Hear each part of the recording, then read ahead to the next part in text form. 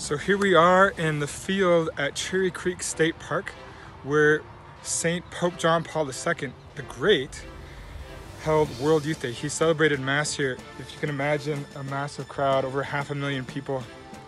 They were here to see the Pope and to watch him celebrate Mass and hear his message at his homily where he said, Be not afraid to go out and evangelize, to spread the gospel, to announce it from the rooftops.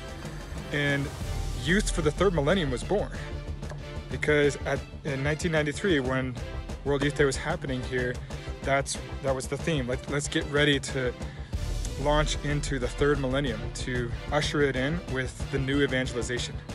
And you know, once the third millennium got underway, we, we changed the name to Mission Youth, right?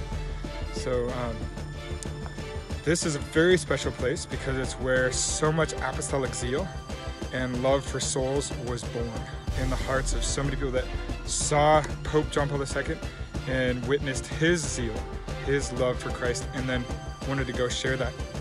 They went out that evening eh, all around Denver to the coffee shops, to you know stores, and invited people to mass, prayed with them. Pope John Paul II said, "Take up the cross, carry the cross with you." And you know when we go on our mission, sometimes we actually carry a life-size cross or we wear it around our necks. But you know, if you're not wearing it or carrying it, you, you're gonna find the cross somewhere. You gotta lift high the cross. So let's also prepare our hearts to uh, welcome this theme for Holy Week missions. And we are each called by name, by Christ. You know, the, the devil, he knows our name and he calls us by our sin. But Christ knows our sin and he calls us by our name. Imagine that. So don't be afraid. Christ is, is with you.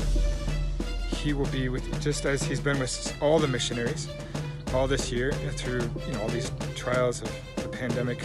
We didn't let that slow us down. And we're gonna hit Holy Week hard.